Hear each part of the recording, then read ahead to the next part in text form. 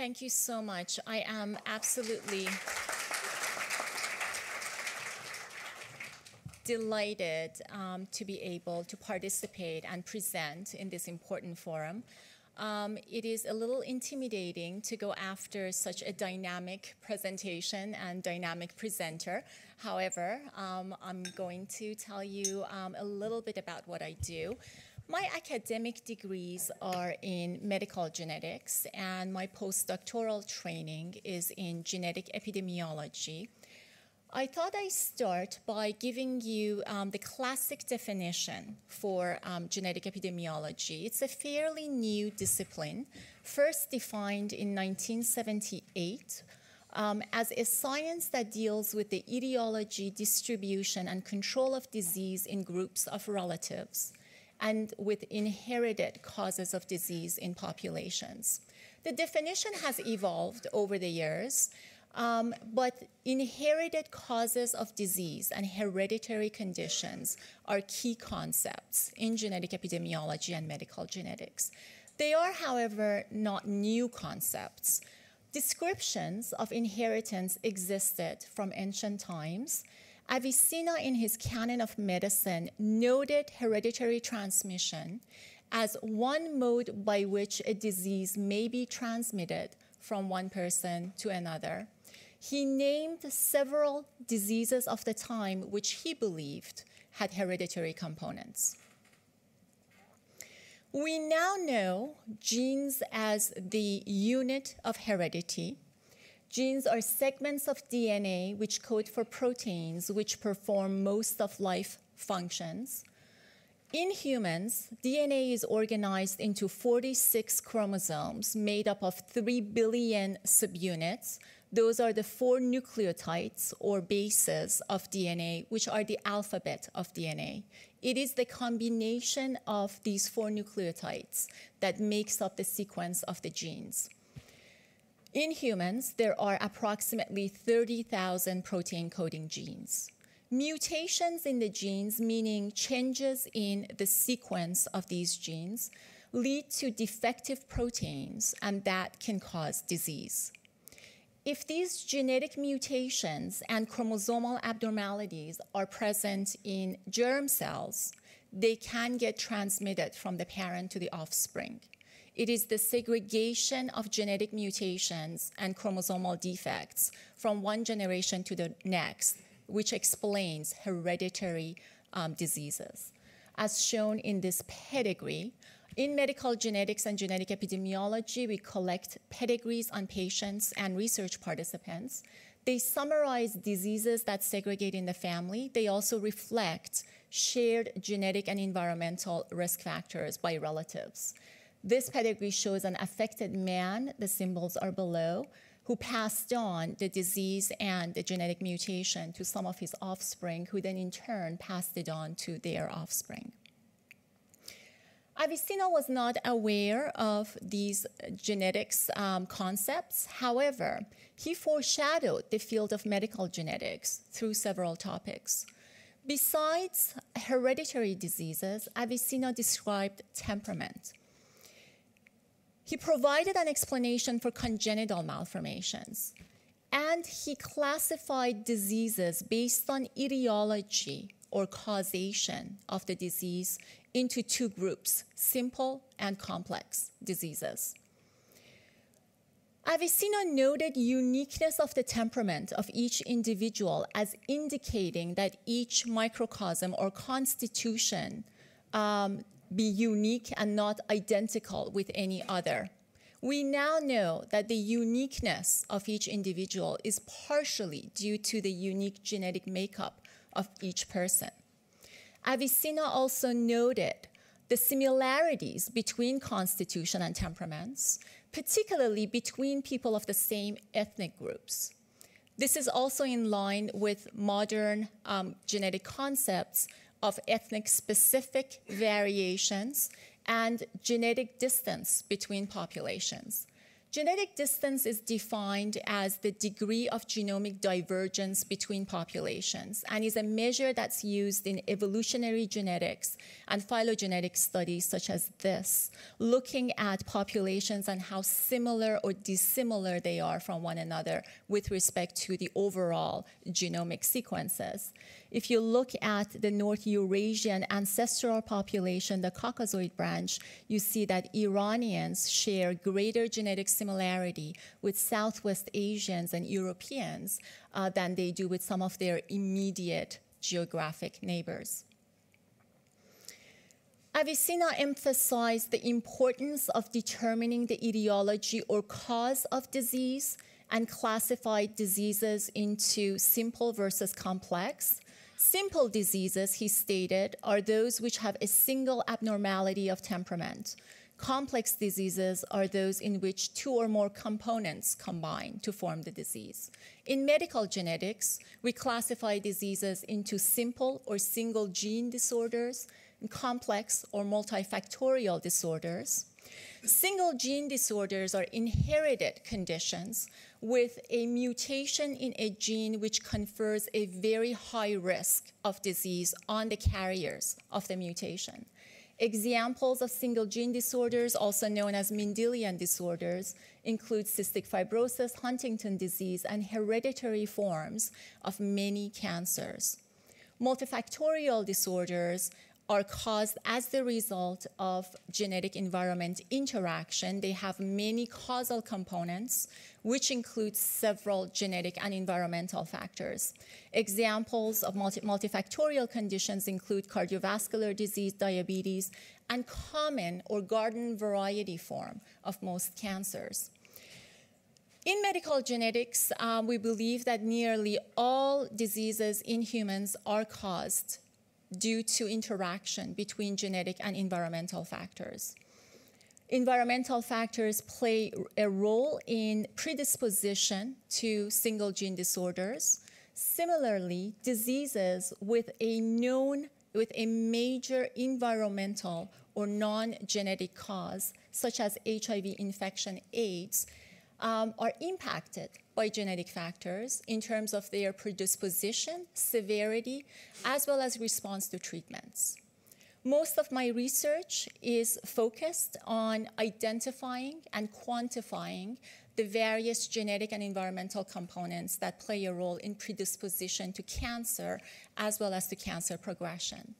In my lab, we work on hereditary cancer syndromes as well as the common forms of cancer. In this presentation, I'm going to briefly tell you about some of our studies on hereditary breast and ovarian cancer. First, some statistics. Breast cancer is the most common reported female cancer worldwide. In the United States, there will be an estimated 231,000 new cases of female breast cancer in 2015. It is the second leading cause of death due to cancer there will be an estimated 40,000 deaths in the US in 2015 among women, 440 among men due to breast cancer. The lifetime risk of breast cancer is 12%. That is one in eight women in the US will develop breast cancer by age 70.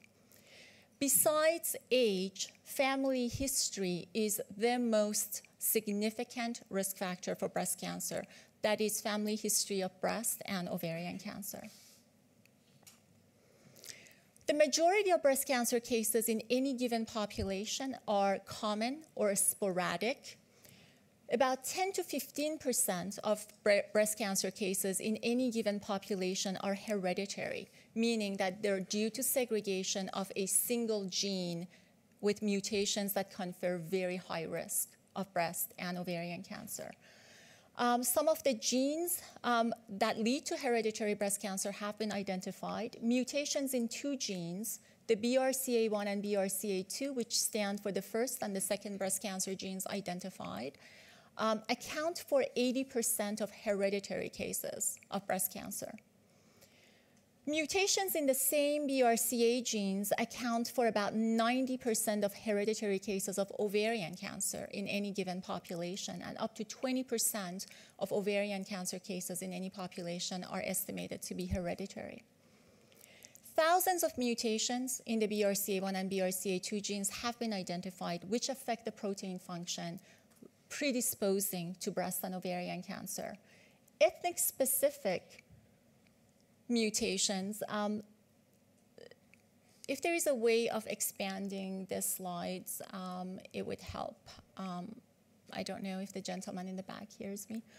Um, ethnic specific mutations in the BRCA genes have also been identified. Uh, the, the, mutation names um, are supposed to be in a column here, but these are some of the populations in which um, mutations in the BRCA1 and 2 have been identified. The characteristics of ethnic specific mutations are that they occur at a very high frequency in those populations um, and they are unique in some cases to those populations. Um, they include uh, French Canadian, some of the populations that we, we have studied, Ashkenazi, Jewish, Icelandic, and the Dutch population. Um, we have conducted um, genetic epidemiologic studies on many populations and ethnic groups, the majority of which are in North America and Europe.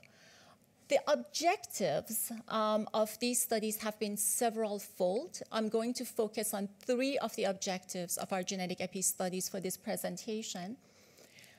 One is to identify the BRCA mutations in each of the populations and determine the frequency of the mutations in the population and the penetrance, which is the risk of the mutation for, for given cancers in that population. The second objective is to identify other genetic factors as well as environmental factors which may modify the risk associated with BRCA mutations for cancer. And the third is to determine the histopathologic features of the BRCA positive tumors um, compared to sporadic tumors, and to compare the survival outcomes of BRCA carriers with breast and ovarian cancer to sporadic cases of breast and ovarian cancer. Our findings um, from our studies um, have led to um, an understanding of the biologic mechanisms involved in the disease pathology, but have also provided etiologic clues for developing and offering preventive and risk reduction strategies to individuals who carry these mutations. Without getting into the details of the studies, I'm going to summarize our findings with respect to each of those objectives. So with regards to objective one, um, in our studies, we have found that up to 40% of ovarian cancer cases and 20% of breast cancer cases in certain populations carry a mutation in the BRCA gene, and those are cancer cases unselected for age or a family history of the disease. The frequency of a BRCA mutation in a given population, in some population, reaches as high as 2.5 to 3%. That means that in the general population, among unaffected individuals, about 3% carry these mutations. Up to 60% of BRCA carrier um, cancer cases, in fact, do not have a significant family history um, of the disease. Um, and therefore they would not have been identified as being at risk. And BRCA carriers have a significantly lower age of onset of breast and ovarian cancer than non carriers. Um, the majority of breast and ovarian cancers associated with BRCA mutations are uh, premenopausal as opposed to perimenopausal and postmenopausal um, in women in the average population. The precise risk estimates uh, for BRCA mutations differ by the type of study and the exact genetic mutation. This slide summarizes our findings with respect to the risk of cancer associated with these mutations.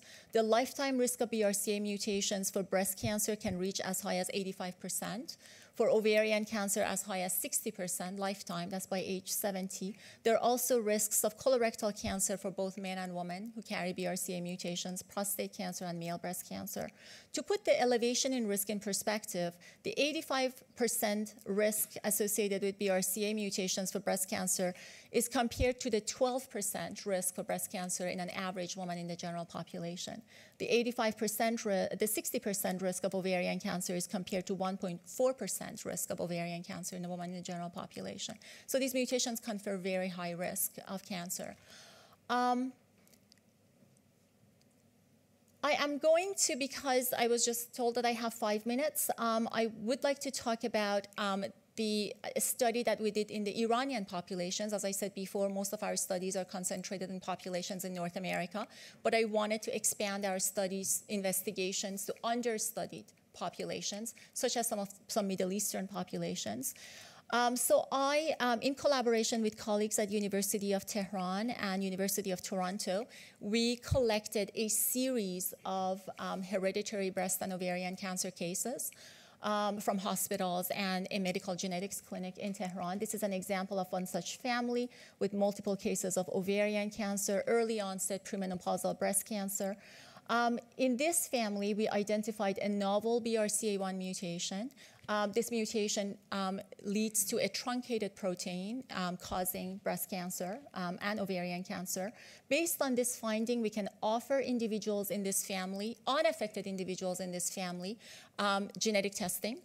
And individuals who are found to be positive for BRCA mutations, um, they can be given several strategies or options for reducing their risk of breast and ovarian cancer. Those include lifestyle changes, chemoprevention, increased surveillance for breast and ovarian cancer, as well as prophylactic mastectomy or, or oophorectomy. That's removal of breast and ovaries in order to reduce the risk.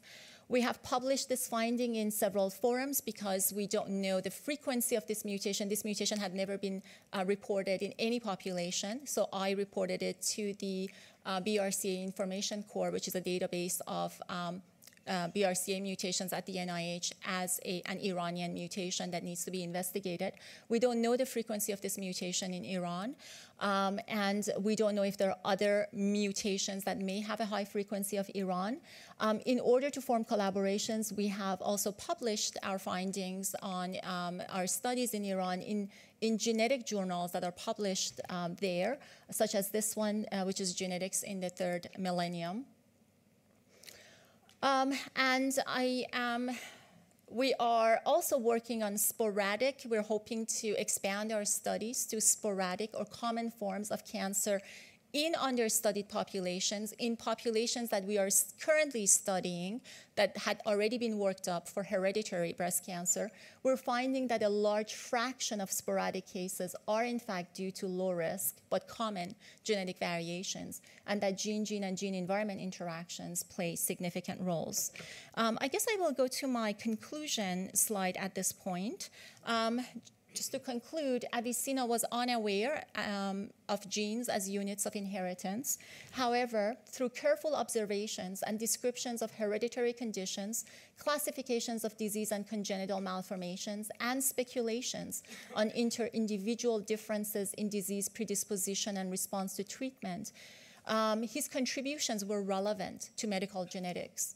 A millennium later, we have made great, amazing strides in understanding the biologic basis for those early observations, but also in elucidating the mechanism involved in not only single gene disorders, but also complex disorders with multiple genetic and environmental factors.